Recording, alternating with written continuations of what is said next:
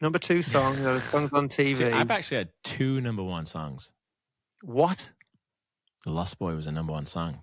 Actually, I've had three number one songs. I have one in Australia too. I've had three number one songs worldwide. Let's put that in there.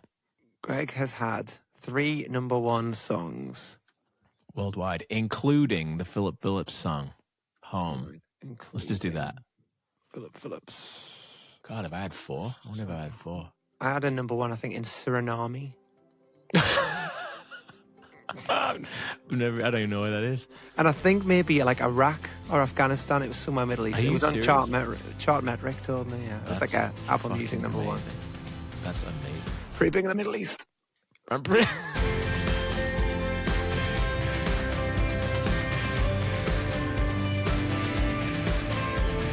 Good morning, good evening, good afternoon, and welcome to Dropped, a podcast hosted by two dreamers from the north of England who cross paths in Los Angeles, California, where we quickly discovered that our journeys in the music industry are strikingly similar. We've tasted some success, but in the five years since that first meeting, our industry has transformed into something that we barely recognize, where our past lessons rarely apply, and where making a living gets tougher each and every year.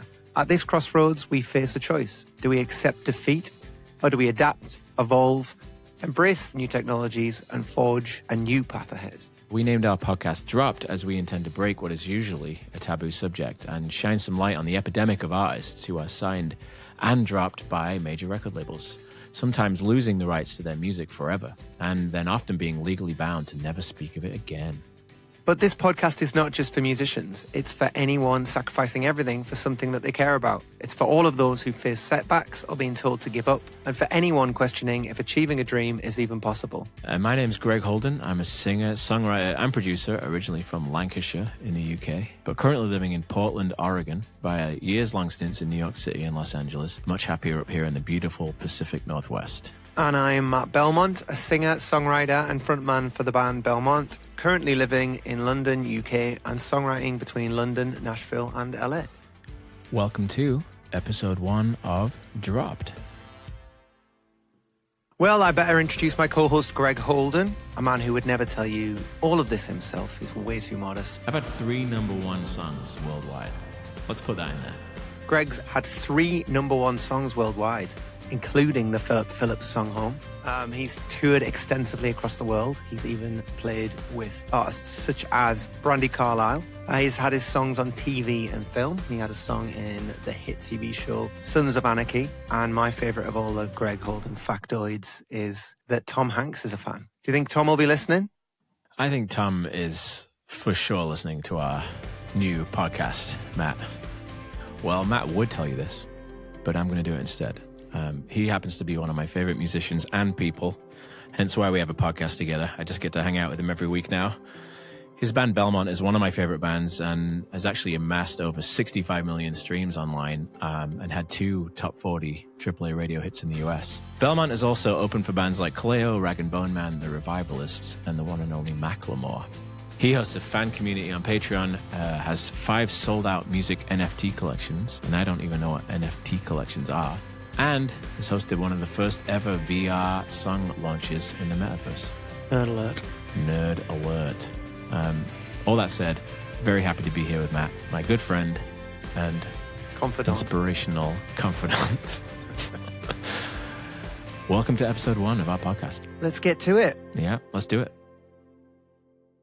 So here we are, episode one of our new podcast. Matt and I have been trying to figure out what to say in this podcast for a few weeks, and we've actually, truth be told, shot uh, three intro episodes. And as we've done that, we sort of learned a little bit about what we are trying to say. And originally, I think we were both just mad at the music industry and wanted to be two lads who have been signed and dropped um, and chewed up and spat out by the industry. Um, we just were sort of complaining, and and I I can complain really easily. I'm from the north of England, and Matt himself is a bit more optimistic, and so as we've been shooting episode one over and over, it's evolved into a much more positive outlook and a much more uh, what's the word, Matt? Focused process for us both. Because now I think what we we've turned it into something that we can actually work on and work towards, which has surprisingly become actually quite inspiring for me. Am I up? We're trying to do something that's forward looking and we've gone from kind of like episode one, attempt one, two white guys have a FaceTime call and think it should be a podcast. And there's not much substance there. There's just complaining.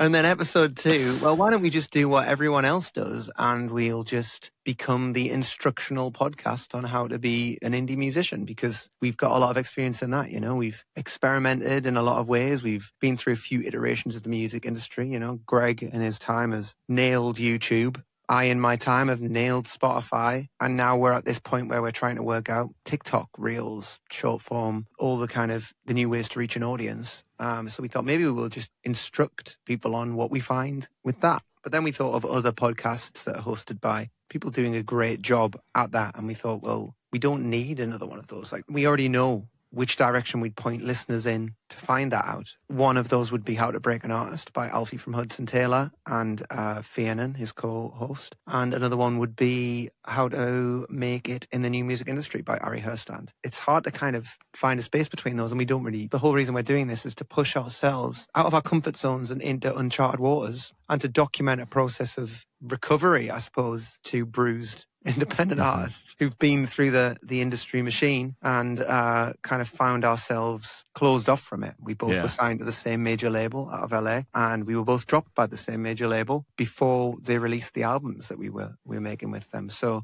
we've experienced that, you know. So we wanted to to discuss those things we have in common, but also find a common way forward mm-hmm. and, and learn from each other. So instead of succumbing to our very English traits of wanting to make ourselves smaller, which obviously is very much at odds with being a, a, music artist and performer. Instead of doing that, we thought, well, let's lean into it and let's tell our stories. Like that's what we know best. So we want to make this podcast about what we've experienced in the industry, our own stories, and also our own attempts to find a new path forward because we're not about to give yeah. up. And just be authentic, you know. I think that authenticity was so important in those first couple episodes. I think I was a fish out of water because we were talking a lot, a lot of statistics and we were talking a lot of real industry stuff. And I, I'm an artist. I'm a song. I'm a songwriter. I'm a musician. Like I don't care about all that stuff, and that's why it's been such a difficult journey. You know, without all that, especially now the way that things have changed, and now that we've sort of found this very clear direction, uh, it feels more inspiring. It feels more hopeful, and I think that's a better place to come from. And like Matt said, there are already podcasts out there doing a great job and we didn't want to step on anyone's toes and get involved in something that's already being done. So we wanted to find our own angle. And so Matt and I are going to go through this, you know, uncomfortable at times journey in trying to, God, I mean, relaunch our careers in a way, you know, or at least re- restructured careers because everything has changed so much in the last five years or so with TikTok and algorithms and the crazy amount of music that's released uh, on Spotify every day. Point being, we now have a little bit of focus and we want to bring you along for that ride. Whether it's a success story or not is to be determined. And um, I'm just sort of, I feel, I feel good about this, this new method that we're going to have. Eh, eh, there's going to be some accountability there because if Matt challenges me to do something for the next episode, I'm going to look like a little bit of a dick if I don't do it. So it's accountability to a whole listener base now. And one of the important things is we don't want to just make this about the music industry. If we eh, we don't want to just you know close it off to to people who have been in the music industry and been chewed up by the industry. We we would like music listeners to learn something and be interested in our stories and be involved in this. Um, and people who don't even know anything about our world, you know, we don't want to just close it off to an exclusive club of bruised musicians. For sure. Yeah. It really is about having a dream striving for that dream, getting so close to that dream, and then feeling it, well, watching it evaporate right before your eyes. And then it's kind of how, what do you do then? You know, how do you pick yourself up after the knocks and how do you move forward? How do you find energy to do something you've done before to try and get back up to the, the level that you were at before and beyond? It's, there's a lot of knockbacks in the music industry in particular. And um, there's a lot of picking yourself up, dusting yourself up, and often starting again. And me and Greg are at a point where we felt a fair share of knockbacks each, and we we have to do that again. We're excited to do that, but we thought maybe it would be more exciting to do it and document it along the way. We should really catch the listeners up, right, on yeah. our journeys like how did we end up here what happened yeah the, the the sort of highlight reels of, of how we are where we are and you know in the spirit of a podcast that we want you to come back to, why don't you get to know us both a little bit? Some of you may know me, some of you may know Matt. some of you may know us both. And if you're here and you know neither of us, then wow, uh, where did how did you, how did that happen? we both could talk about ourselves probably quite easily because we are artists and are musicians, and we go, gave you a little high, highlight reel in the intro. But you know, I would like to sort of casually and non-scripturally scripturally, scriptedly talk about Matt because Matt is one of my favorite musicians and artists. He has a band called Belmont. Just put out a new. The album's out now, Matt. The album's album, out. yeah, It's out. called Mean World, Mean World Syndrome, and it truly is a masterpiece. I think it's an absolutely beautiful album that um, is not getting the ears that it deserves, which is a common story, and which is one of the reasons why we even started talking about making a podcast. You know, Matt, uh, I'm just going to tell your story as best I can Okay. you know, because I think it's nice when someone else says it. Made his album. Uh, you can correct me where I'm wrong as well, but he made this album Correct. uh, with a major label on a major label budget, so it sounds king incredible. The songs are beautiful. I I happen to have one of the songs on the album that I wrote with Matt and a buddy of ours, Sean Van Vliet. But it's a it's a beautiful album, and it's I it blows my mind when when friends make albums like this and they're not world famous but that is a that is a the difficulty of today's industries. As Matt informed me last week, there are hundred thousand songs a day come out on Spotify. Hundred thousand. Think about that. One hundred thousand songs come out every single day on the streaming platforms. How the fuck does anyone sift through that? So Matt's sitting on this masterpiece record that barely anyone is hearing. So you know, that's a bummer, isn't it, Matt? It's a bit of a bummer, yeah. It's uh, it's a couple of years of work just making it, never mind writing it. It's probably five years of work in that record and a hell of a lot of money. Just released it. There's no part of the album that I listen to and go, oh, I wish I could change that or make that any different. So I'm in this position where I'm I'm mega proud of the record, but beyond our like super fans, I'm struggling to get it even heard by even the people who listen to our most listened to song. You know that song Hollow. Um, it gets hundreds of thousands of listens every month, and I'm struggling to get those people to move on and listen to this new work, which I feel is my best work yet. So that's very difficult. Maybe it's nostalgia, and I just can't forget you. I'm a fool who can't remember the old me knew you better.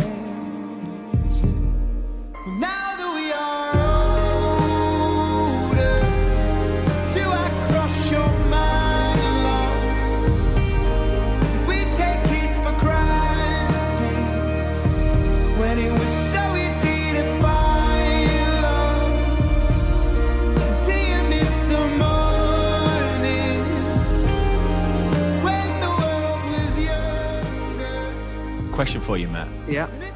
Do you think that it is a product of the people who love your music not being able to find you? Or do you think it's that they are so overwhelmed by the amount of music that is being shoved down their throats every day that they either A, don't have time to listen to your new record, or B, are too burnt out to even try to? You know, it- does that make sense? Sometimes I wonder if people are sitting there they see like Greg Holden or Matt Belmont has a new album out, but like, oh god, I, there's too much information. I'm too overwhelmed. There's too much music to listen to. Or do you think they just don't know? Have no idea that you have an album out. I think there's a disconnect between people who've heard our music and liked our music and the people who've done that and then found a, a channel to keep up to date with it. Um, so I think there's just so much going on and there's so much noise that for me to cut through the noise and reach them and even let them know that I have a new album um, is quite impossible without just paying for marquee ads on Spotify or Facebook ads um, and having uh, like a really significant budget to do that. But also, music has to find people now. People rarely find music. That's different with word of mouth. I think there is a whole word of mouth movement still. It just takes a while. And I was speaking to our friend Carey Brothers about this recently, and he was saying that he doesn't think you can define an album as a success or a failure until around the 10 year mark. He feels like Wow. if you're going to leave it up to word of mouth and just the power of that album in itself to find a route through. So you seed it out to the first thousand people. If those thousand people love it and tell 10 people each, and that keeps happening over a period of five to 10 years, then you're going to have a, a hit album 10 years in, whether Mhm. you've put any ads behind it or TikToks or YouTube or um, any massive marketing budget behind it or not. He believes that the cream rises, but it takes 10 years. And it will have longevity too. You know, the slower it rises, usually the slower it is to come down too, hmm and vice versa. So, as always with Carey Brothers, pearls of wisdom right there. We'll have to get him on at some point, won't we? Oh, we must. Okay, so we have talked about a few of your massive achievements, only a few. I know you, there are so many more that I'd love to get into over the course of this podcast. But yeah, multiple number ones across multiple countries, amazing massive syncs on huge TV shows, and on and on and on. I know Time magazine wrote about you at one point. I guess what I'd like to do is bring it into the present, Greg, and and really find out what it's like being you now, but also kind of what brought you to this stage. What what has been the arc of your story so far, and where does it end up today? Well, at the risk of telling a very long story, I'll tell a slightly long story. My career started on YouTube way back when, in 2008, 9. Started posting videos of me singing new songs that I'd just written. Slowly but surely, people started paying attention and the numbers started going up. And I, you know, all of a sudden I had a fan base. I'd never had a fan base before. I had people asking me questions about me and my music, and it was cool. It felt really nice. That turned into a sort of smallish touring career where I could go play people's living rooms and some clubs in and around Europe and, and in, in England, which then turned into opportunities in America, which took me to New York, where I've always wanted to live. That was my dream. I'm a huge Bob Dylan fan. I always wanted to live in New York. And in 2009, I actually moved there to start my music career. It was terrifying, but also not terrifying at all because I knew I was doing the right thing for myself and my career. So I started playing shows in New York and people started showing up and then labels started showing up and I made an independent album through Kickstarter actually. I think that was around 2010 with a dream producer, dream band album called I Don't Believe You, which I'm still incredibly proud of. And throughout that time, I saw numbers rising. I saw progress, which is what you want to see when you're working hard on something. You, you want to see more people showing up to your shows. You want to see more people downloading your album because back in the, that time, that was iTunes. You know, people downloaded your album. There was a chart system there. There was, you could see your success. So I carried on. I kept touring. I kept playing. I kept releasing music. And ultimately that led to in 2014, I signed a deal with a major label reluctantly in the beginning, but uh, in the end, I'm glad I did. Uh, and the president of the company himself actually signed me, and there was a lot of buzz around me, and it was going to be the next rock and roll star. I was going to be the next Tom Petty. You know, they were throwing money at me. We were making videos. I made a, you know, I'd already made the album actually independently, but I sold it back to the label, regrettably.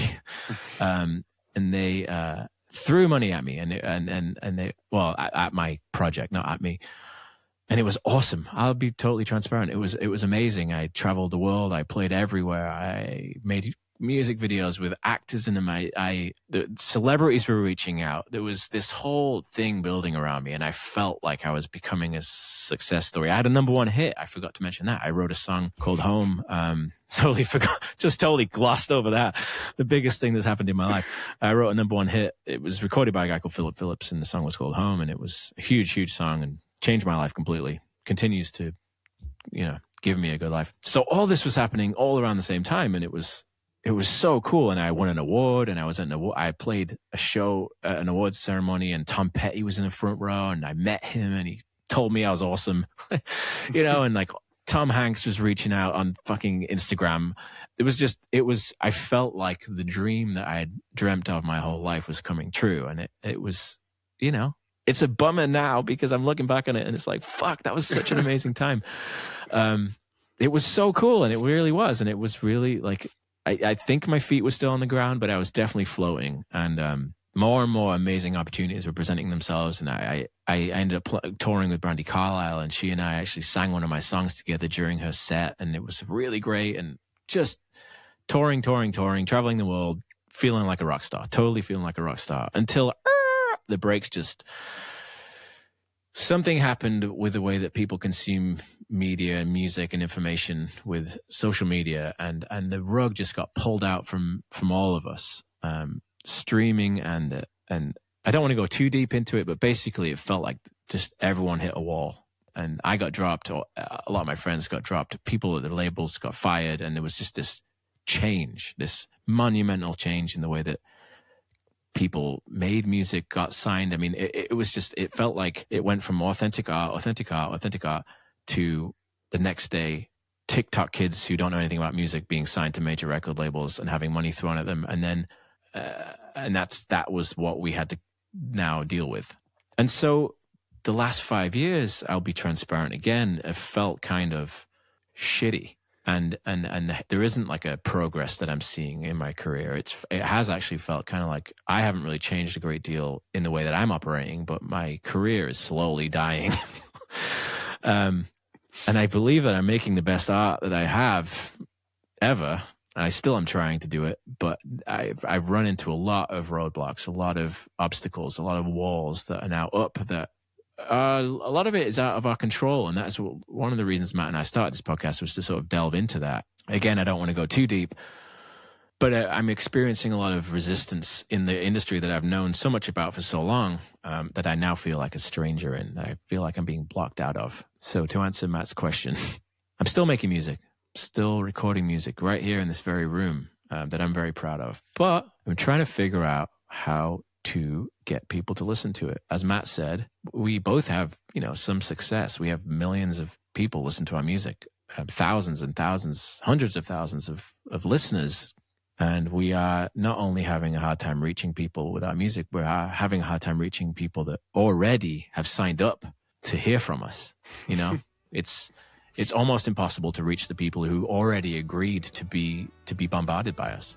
The, the algorithms just don't let it happen anymore. So, we're reaching a fraction of the people that know who we are. So the idea of even trying to reach people who don't know who we are is, it feels impossible. And I guess that's why we are here, Matt, is to Yeah. document ourselves, figuring out ways to to progress and to and to continue to succeed in our in our ever evolving industry. I don't wanna be the one to lose his only son. Cause some selfish psycho could not control his rage. Oh, and it seems like everywhere we go, the winds of violence blow. And I can't promise that I can keep you safe. And I can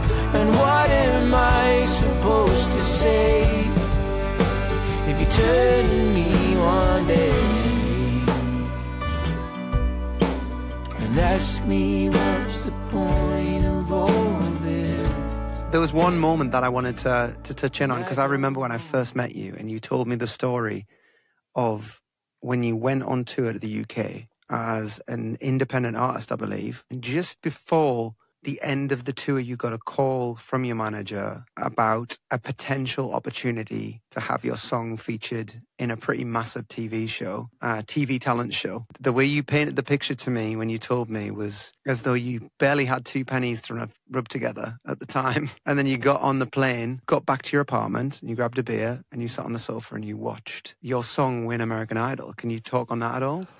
I can. Yeah, that was a very. Um, I just got chills. Actually, that's, that's funny because it really was a, like a turning point in my life. Um, I was sitting in a radio station in Holland, having just had a number one song in Holland of my own called "The Lost Boy," and I had sold out a tour across the country. It's a very small country, but nevertheless sold out. and I'd been on this nine week tour. I mean, I'd been in Germany, I'd been in the UK, I'd been in Holland, I'd been in Sweden. I'd gone everywhere. I was exhausted and I was broke. I'd spent way more money than I'd made on the tour and I'd put in so much work. And I was sitting in this chair. I remember sitting in this chair in the studio about to go on the air, just so pissed off, so disillusioned. And, and I mean, this was 2014. I was like, how do people do this? I just had this tour and there was people here and I toured in a car, man. I wasn't even, I wasn't like I was in a bus or with like a full band and a crew. I was like in a car with two of my buddies. It wasn't even like a glamorous tour. Yeah, I'd still lost money. And I was just thinking like, how the fuck do people do this? And I was sitting there and my phone rang and it's my manager and he, he said, bit of a random one, but American Idol wants to use uh, Home And Home was a song that I'd written maybe a year before with a guy in LA called Drew Pearson. And I didn't really like all that much, to be honest. I didn't really, I mean, it was fine. It was, and I'd happened to be playing it on the road on that tour because I needed a happy song because my set was so damn depressing. But I'd been playing Home actually on that tour. He said they want to use it on American Idol. I was like, what? What the fuck? Have they heard the song? You know? And it was like Jimmy Iovine wants to use it. And I, I'm a huge Tom Petty, Tom Petty fan, right? So Tim, Jimmy Iovine, I think he, uh, Damn the Torpedoes was the song, the album that he produced with fucking, Right. um, you know, come on. so I was like, what the fuck? Why did they want to use that song? It doesn't even have a chorus. It was so it was so weird. I couldn't believe it. But anyway, of course I approved it because I was broke out of my ass, and I and and I didn't know it was even gonna. They weren't paying me to use the song. I mean, I would eventually get paid if the song did well, but there was no money up front. Right. Yeah, like So no licensing fee. no licensing fee or anything like that. So I was like, what does that mean? And my manager's like, I, d- I don't know. But they, it's in the finale. He's like, so people will listen to it. So I was like, all right, approved? Because I have to approve it because I wrote it, obviously. So yeah, then I, you know, I went on the radio station, played a couple songs, got on a plane the next day and flew home. Um, I didn't not think about it because, of course, I thought about it, but it wasn't like I knew really what it meant. And I remember actually, before I went home that night, I, I landed in New York. That's where I used to live. And I went to Rockwood Music Hall um, because my buddy was playing that night. So before I went home, I actually went to Rockwood. And I met a couple of people and they were like, what's going on with you? Like, what have you been doing? I said, ah, you know, I think, I think uh, my son's going to be on American Idol tomorrow. And they're all like, wow. you know, it's this weird thing. And anyway, then I went home and it's funny because I got home and Oh yeah, yeah, that was what happened. It was the night before, so I, yeah, I went to I went to Rockwood. I went, hung out, told some people, and the next day was when it was going to be on the TV. But I couldn't quite believe it because I was like, American Idol's a huge fucking show. Yeah. So I was like, I don't really, uh, I can't really fathom how this is going to be a thing. But my buddy from Australia was arriving. I remember, so he he he kind of came in the door like a couple of minutes before they played it on the air. So I had a couple of be- I had some beers in my hand, and he, he came in the door, and it, he's like, "How's it how's it going, mate? You know, whatever the fuck they say in Australia." Jesus Christ! Sorry, sorry, buddies. I G'day, know so many Australians. I know so many Australians. That's going to be so offensive. But anyway, he came in the door and he's like, "What's going on?" I said, "Uh, "I think my song's about to be on TV." And he's like, "What?" Everybody's reaction is, "What?" Yeah. Um, so anyway, I gave him a beer and we turned the TV on, and there it was. It was Philip Phillips playing home in the finale of American Idol, and it was crazy. They had this. What was crazy actually is what they used my backing vocals, they used my guitar track, they used the track that me and Drew made. It was all completely mimed, and I was like, "That's my voice." And he's singing the song, and then this marching band comes on, and there's this confetti everywhere, and it's this huge, huge.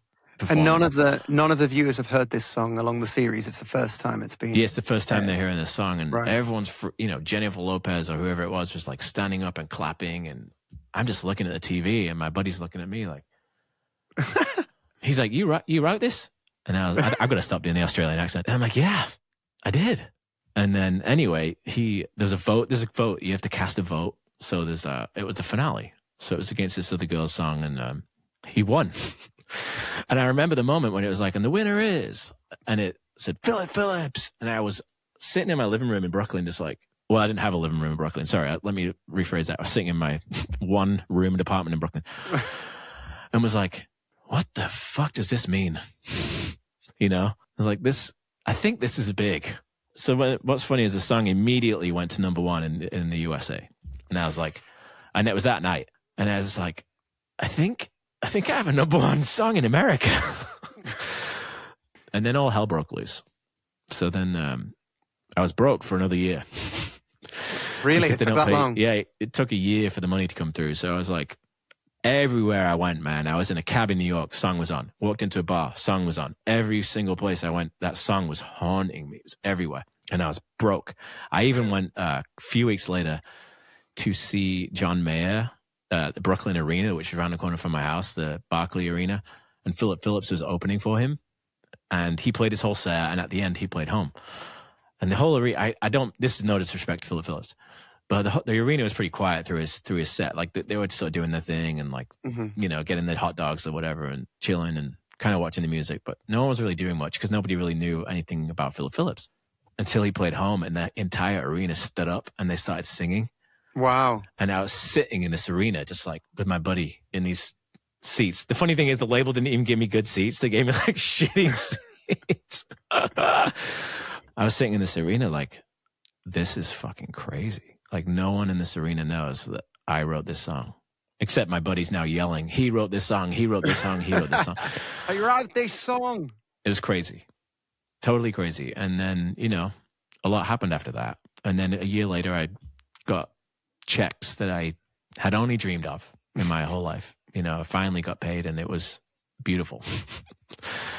For a broke Northern English songwriter who's Mm. spent his entire life broke, it was it was life changing, totally, totally life changing. A number one in America. I mean, that is the ultimate, the ultimate dream, the ultimate dream, but also the ultimate pot of gold, right? I know, I know. Well, So if it had been in the '90s, I'd be li- I'd be living on a private island right now. Yeah, yeah. Instead, it was not. Matthew, uh, I know I just talked a lot about myself, which I don't love doing, but you forced me to do it. I know a lot about your career. I know about you as a person, and I think you're one of the most talented musicians I know. But the listener doesn't. The listener does not know. And you know, we Matt and I were both signed to the, the same label. We were the same publisher. We both had very similar trajectories in our career, and we're both lined up for huge careers. but I want Matt to sort of bring me up to speed with where he's at now because I know there's been some setbacks, to say the least, and um, it's important that you talk about them and, and let people know what's going on and why things are going on. Matt, tell us a little bit about how you got from the north of England to my living room in Los Angeles, California. wow. We're going back. Really, it started with, with writing my own songs and, and busking my way through university, a busking career that lasted seven or eight years. Explain to the American listeners what busking is. Busking is going out into a street that never asked you to be there with a guitar and an amp and a microphone and uh, and playing songs for the people walking by and hoping that they'll throw a few pennies in your case. Got a, a whole load of gigs off the back of that, like weddings, bars, corporate gigs. I played at the Amazon function in the UK where Alexa was announced. They used my Wow. microphone to sh- to do a product demo for Alexa to the Amazon staff um, and nobody cared. Everybody was drunk. Everybody talked over Alexa. The guy who'd been working his ass off making this very first Alexa thing. Um, oh God, I can't say that. If I say that word over and over again on a podcast, it's going to be like, Oh, yeah. Hey, Alexa, play Belmont. okay, Google. Um, oh shit, Google's just. Anyway, I did that kind of thing, but the whole time was just to sustain myself in writing my own music. So in the background, I was writing my own songs. And eventually, one of those songs found its way to Nashville, to a producer in Nashville called Femke, who'd recently won uh, like a Latin Grammy Award and had worked with a few different people, but was trying to make a name for herself as well um, in America. She heard one of my songs and reached out and asked me if I wanted to come write with her. Which song was it? It was a song that you, that's never come out. It was called Backpedaling. It kind of had the sound of Belmont and it had my voice and it had elements of what I do, but just it wasn't a complete thing. So we never released it. And she wanted me to come out and co-write with her in Nashville. At the time, I was like, I was swamped in cover gigs. My original music didn't feel like it was going anywhere. I was running an open mic night in London that I'd ran for a few years. And I was trying to just like bang on the door, multiple doors. I did a little bit of writing for Universal Music. I did a little bit of writing for various artists around London. Nothing had really landed. So I didn't have this like constant upward trajectory at all to that point. It just felt like banging on doors that wouldn't open really. I got this break with someone who was mutually trying to make their name and who was incredibly talented. I remember I was renovating my flat at the time, covered in dust, and I remember finding like the one jumper that wasn't covered in dust, throwing it on, sitting in one corner of, of the flat that we'd painted while the rest was just a tip, and just putting my headphones on. Oh yeah, yeah, I'm just coming out of a writing session. yeah, thanks. I can just squeeze you in. Yeah. no, I didn't do that, but I, I at least pretending my life wasn't chaos. And she was sat there with her manager, and they said some really nice things about my music and invited me to Nashville. That was the first place you went to in America. The first place I went to for music in America, anyway. Yeah, I'd Yeah. been to Disneyland and things when I was younger, but I remember going to an Airbnb on the outside of Nashville and sitting on their piano and just like writing a song on the first day because she was busy on the first day. And then we were going to meet on the Monday night. And I wrote the chorus to this song called Made to Find You. And then the next day we met up and we we finished that song Made to Find You. And on the second day we wrote a song called Hollow on day two of writing together. And we were just off. We just had this incredible co-writing chemistry. We wrote, I think, 10 songs, wrote and demoed 10 songs in 10 days. Wow. And I was like, wow, I'm onto something. We showed them to our manager. I didn't have a manager at the time. He loved it. I went back a couple of months later, wrote more songs, crashed a rental car six minutes into No having shit. it, wrote it off. Um, oh shit! yeah, that's a whole other story. But um, oh my god! uh, ended up back in Nashville, writing more songs, but also playing a showcase and just getting this crazy reaction. Everybody who heard me sing and play was like, "Where's this guy been?" Like really loving what they were hearing, sending messages to her manager, who then became my manager for a brief time, and we recorded a production of that song. We recorded between like the neighbor's dog barking and the lawnmower going off, like very DIY. Uh, But Mhm. she's an incredible producer. She did an amazing job despite all that. We had no money. And uh, we found a distributor and we started putting the music out. And song one just exploded, the first song. Um, and I had released like solo singer songwriter, self produced EPs and things in the past. Never to much success. I had a little bit of like, you know, the iTunes singer songwriter charts hmm back in 2012 i had like top five or something on there and uh, a few little things a few little moments on radio but nothing massive and yeah hollow came out and was on new music friday usa which was like the playlist to be on in 2017 when it came out hmm It's a beautiful song. I mean, for those who haven't heard it, that go check that song out immediately because that is a gorgeous, gorgeous song. people just took to it i had a mahogany session which helped the success as well and just garnered this fan base and it was just me and Femke at the beginning but uh, we finished the ep we got chris and ben in to play the drums and guitar and released the whole ep and song after song was just new music fridays new music fridays acoustic hits pop Amazing. hits all these big playlists and before we knew it hollow had a few million streams and our distributor said you know people really are loving acoustic music right now you should do an acoustic version of hollow so I went and met up with Femke's boyfriend at the time, now her husband, Josh Reynolds. And um, we spent a couple of hours recording an acoustic version of Hollow. And yeah, just like smoked some weed, had a few beers, knocked this acoustic version out in his living room, released it. And it just like, I thought Hollow had exploded, but Hollow Acoustic just went insane to the point where it's got, I think, 40 million streams today Wow. And ended up signing with uh, this manager who managed a band called Kaleo, who I was a big fan of at the time. And he got me a publishing deal with Warner Chappell. And that was when I got sent doing the rounds, writing with everyone and anyone. And one Mm, of all love everyone and anyone was uh, Mr. Greg Holden. I like how you came all the way around, right back into my living room.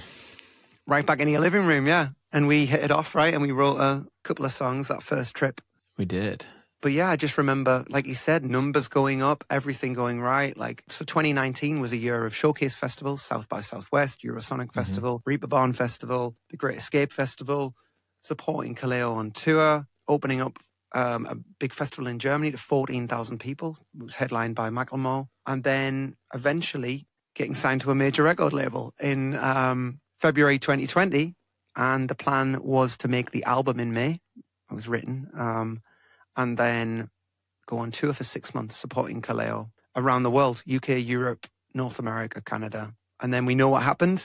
I remember actually getting a taxi to the airport in uh, mid February. It was like a disaster movie. The radio was on. And I remember hearing the first cases of a new virus uh, have been detected at LAX airport as I was driving towards LAX. And I was like, oh, that's a bit weird. That kind of just felt, it immediately struck me. Got out of the Mhm. taxi, got my flight home.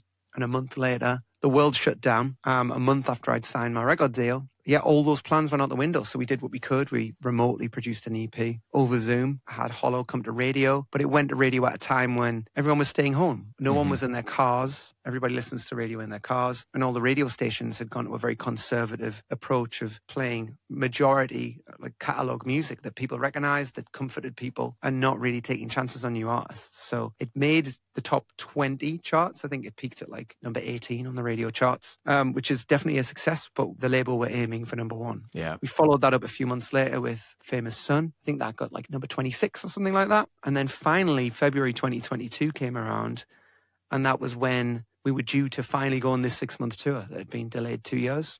Finally, promote the whole thing. We were finishing an, our, our album. And yeah, we were just, we were ready to, to freight our stuff to America the next morning. And I went to my producer's house to have like a meal to kind of celebrate finishing the record.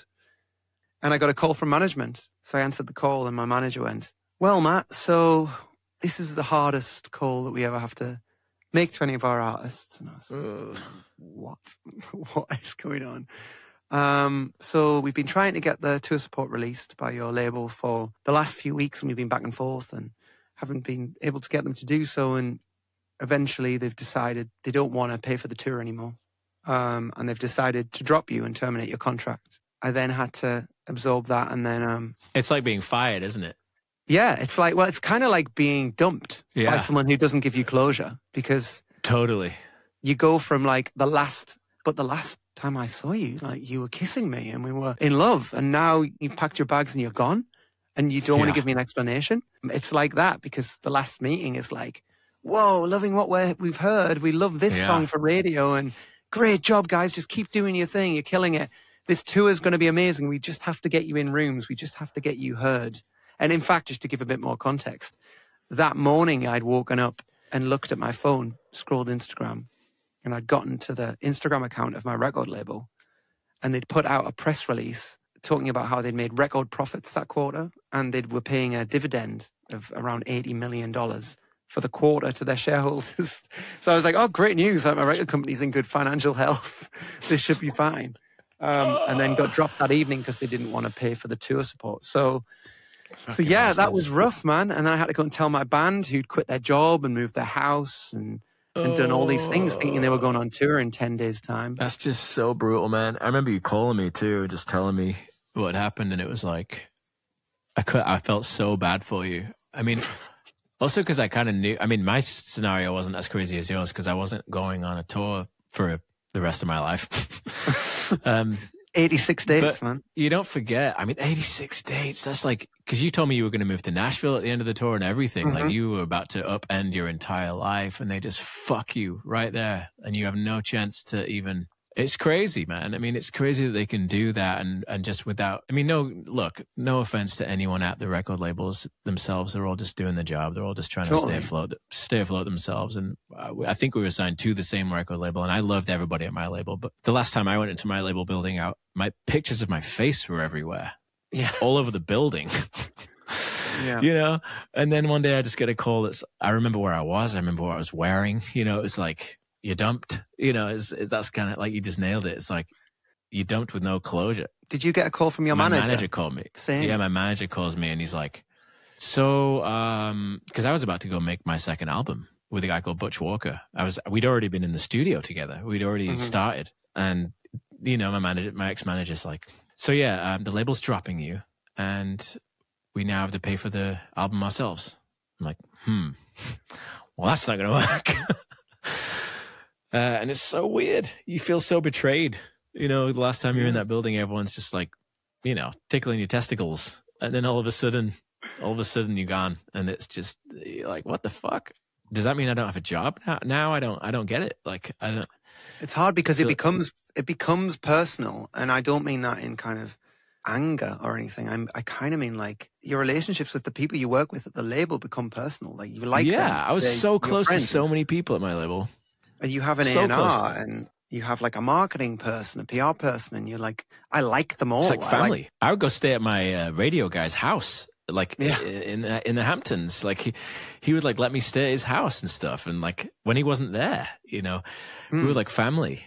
they work for this big entity, and it's kind of like it would be frowned upon for them to, to call you up, and in that moment, maybe you get a couple of Instagram DMs or a text saying, "Just heard, really sorry to hear it," but Yeah, it's kind of like it's the fact that it happens through your manager as well. I had an A&R at the company and I, who I was talking to more than my manager at that time. You know, I was talking to her about the songs. She was giving advice on which ones she liked and what she'd like to hear from the album and helped me pick which songs went on the album. And, and then I've, I haven't heard from her since. I've never heard from her again, so crazy. ever again. So like not a text, nothing, which I just found wild. I was like, wait a second, like we got on, right? Like, didn't we get on? Like, it's, we don't have to, like, I can be grown up about the fact that this didn't work out, but like, Yeah, let's just still be people. But then there are still, there are people who still work at the label who have like reached out every time I've released something. They've listened to it.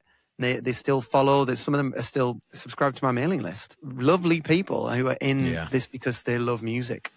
Um, it's just so this. no disrespect to the staff at record labels. Just to be just to be clear, it's more the machine itself is a little bit broken, but the people that work there are all wonderful, and I don't I don't have any shit things to say about anybody at the labels themselves.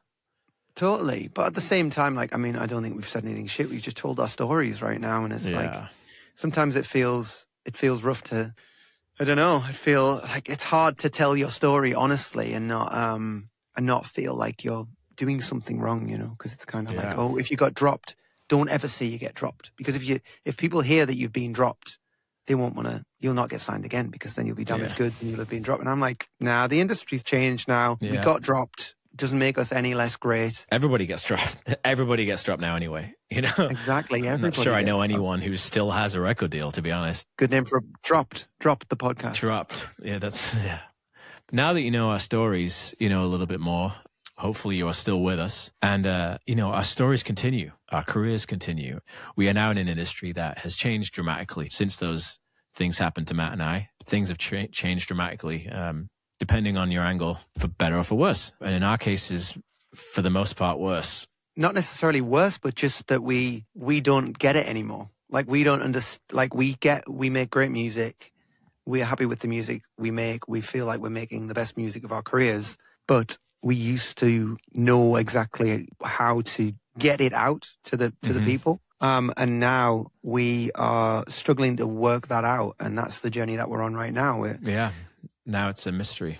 yeah, we both had big knocks. We've both had big successes. We've kind of both had enough success to know that we're great at what we do. And, and Mhm. that's not about boasting or anything. It's just like you got to believe in yourself in an industry that, that chews you up and spits you out sometimes. You've got to be your own biggest fan. We now have to pick ourselves up, dust ourselves off, and find a route through. And that's what we're about to do. And we're going to find some ways to cut through the noise while remaining true to the core of who we are as artists and not Mm. suddenly starting to dance on TikTok. How are we going to do that, Greg? That's going to be part of the challenge, I think. I mean, I'm generally pretty pessimistic about the social media age that we're in and what people do to get attention and what people have to do to get attention. The, the YouTube thumbnails now are so fucking obnoxious, and the TikTok dancing makes me sick with just just discomfort. And I'm like, is this what I have to do? Like, is this how I get people to listen to my music now? Like, surely not. But this podcast is, you know, documenting that that challenge and that journey because both Matt and I have integrity with our art. You know, go listen to our music. It's it's there. You know, it's uh, I'm not I'm not ashamed or embarrassed to say that. I think my music's great and I think it should be heard by more people. And if I didn't believe that, then what the fuck am I doing? The question is how now. Like Matt said, there used to be a method. There used to be a way that we did it. There was a there was a roadmap. Well, that roadmap is a slot machine now. That's what that roadmap is. It used to be You're a right. kind of like do this, this, this, and, and expect these results Mhm. if people connect with your music. Now it's just like pull on the slot machine and hope that the gods select you. Um, or that's how it seems. And I, I would like to believe that it isn't so much that. And there's a lot of resistance, you know, on my end. I'll just speak for myself. There's a lot of resistance to join a lot of these things. I don't have TikTok currently, and I have a feeling that's going to be one of the challenges that Matt sets for me. I'm I'm a little bit, I guess, what some might say, old school at this point. I do have social media. You know, I'm good. I'm I used to feel like I was good at it. I make cool videos and art. But I'm not quite on like the, the cutting edge of, of all the of, of all the algorithmic shit, and I don't necessarily want to be either because it just requires such a a sacrifice of time and Uh, integrity that I'm just not really on board. But I do want a successful career still. I want to be able to pay my mortgage and give my son a good life. And I got to figure out how to find a balance, you know, being part of what's going on and, and evolving with technology and also remaining true to what I want to do and not dancing around like a fucking idiot on on TikTok. the key seems to be authenticity, like brutal authenticity. And it's finding a way to do that in short form, you know? And I think the mistake Yeah. that a lot of people who don't understand the platforms make is they try to make something really polished or they're stuck in Instagram mindset and they think filters and color grading and and just to try hard. The people on those platforms are sick of all the noise and they want to feel like someone has just turned their camera on and started speaking from the heart. And every time you try to find a formula to go viral, it seems to be beaten by the person who was really feeling something in a moment and pressed record in that moment. hmm Clear authenticity. And yeah, you don't Yeah. want to leave a three second pause at the beginning of the video. And there's little things like that you can you can bear in mind and, and put captions on your video because a lot of people watch on mute. What I've basically learned is that you have to kind of find a way to authentically present the superhero version of yourself. Like show your superpower. People want to, when coming to Greg Holden, they want to hear your lyrics, they want to hear your songs, they want to hear you sing and watch you play guitar. Otherwise, one, you risk not appealing to the people who actually like Greg Holden, and two, you risk appealing to people who like you for something you don't even want to be known for. Yeah. If you start telling jokes and suddenly you become the most successful comedian on TikTok, you've still failed. Yeah. Yeah. And that's going to be the challenge of, of this podcast. And, and that's what this podcast is. You guys watching me and Matt blaze our way through all these, you know, red flags. we appreciate you being here. Totally. We definitely both reached a point where we could have said, okay, this isn't for me. I had my shot and it all evaporated and went up in flames. And I can't be bothered to start again and go back and build from that point again. So therefore, I'm going to look elsewhere.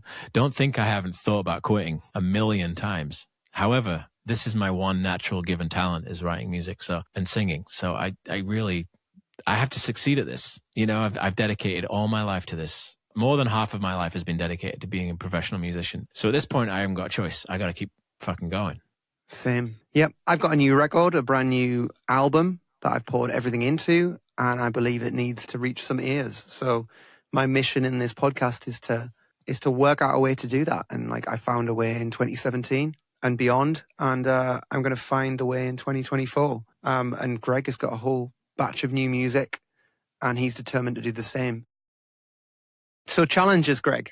We said we would Yes. we would challenge each other, and we're going to push each other out of our comfort zones. I haven't truly posted on social media in the last in the last month really i've gone a bit quiet so that's the context for me on social media right now and i know that you don't have a tiktok account so I don't my challenge for you this week is to set up a greg holden tiktok account Fuck. and post two videos on it i want you to find an Two? old yeah i want you to find an old bit of content that you can find like a 30 second to one minute highlight of um, add captions to it and post it and i want you to um, to speak to the camera and uh, announce yourself as a musician that. hell.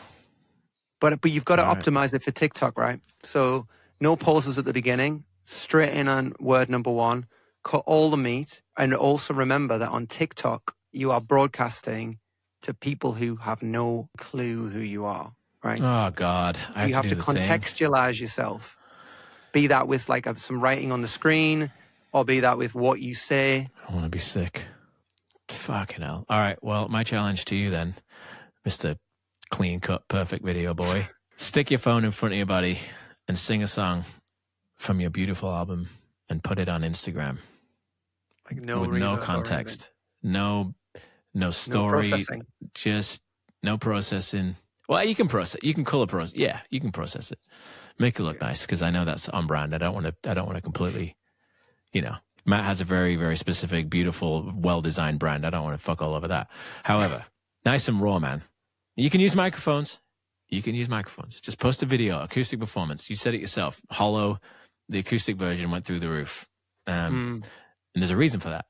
Because your voice is phenomenal and you play beautifully and you are a great performer. So I have faith that if you post a, a beautiful acoustic performance, people will enjoy the shit out of it. that's funny that you say that because I've been doing everything but that. I've been experimenting with short form video and kind of. I think the mistake I've been making is doing everything but Doing what you're actually supposed to do. everything but my superpower for so long. That's the problem with that's the problem with this shit is no one's doing what they're actually supposed to be doing. We're all busy trying to be fucking social media experts and entertainers. Well, we're just we're singers. That's Exactly, what we're yeah. supposed to do. Sing. So go do that, and I'll I'll do the opposite, I suppose. Okay, I'll get onto that, and then uh, and then we'll we'll catch up next week. yeah, we'll report back and uh, you know see if either of us did the challenge, which we will, and uh, we'll we'll keep you we'll keep you up to date with how it goes, and we'll see you uh, we'll see you here for episode two. Please spread the word. We love you. We appreciate you. We'll talk soon. Talk soon. Good luck with that little TikTok account.